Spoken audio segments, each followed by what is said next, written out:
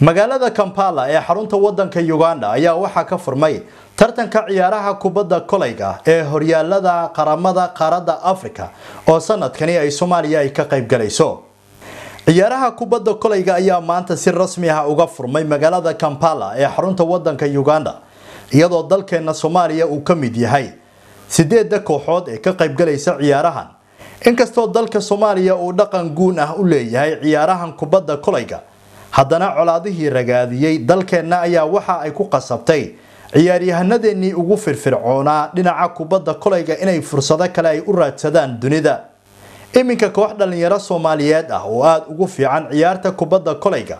ayaa soomaaliya uga qaybgalaya markii ugu horeysay muddo soddon sannadood ah ciyaarahan kubadda basketboolka ee horyaalada qaramada qaaradda afrika taasoo iminka laga furay magaalada kampala ee xarunta dalka uganda maalinimada berri ah ayaa waxaa la filayaa in ay wada ciyaaraan dalalka soomaaliya iyo uganda. Sanadkii hore ayay ahayd markii soomaaliya ay ka qayb gashay ciyaarihii kubadda kolayga ee gobolka taasoo si lama filaan ah ay uga adkaatay dalalka kenya ruwanda iyo burundi oo ay isku heleen semifinaalka kabtanka kooxda ciyaarahan u matalaya soomaaliya yuusuf kaafur ayaa sanadka muujinaya niyad wanaag iyo in ay soo bandhigi doonaan ciyaaro xiise leh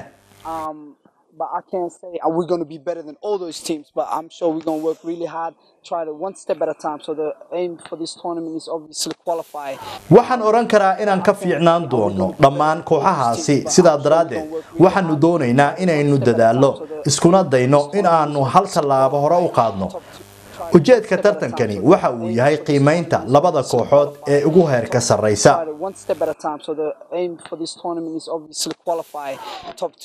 si kastaba ha ahaatee kooxda tartankan ciyaaraha kubadda kolayga u matalaysa soomaaliya ayaa waxa ay rajeynayaan inay gaaraan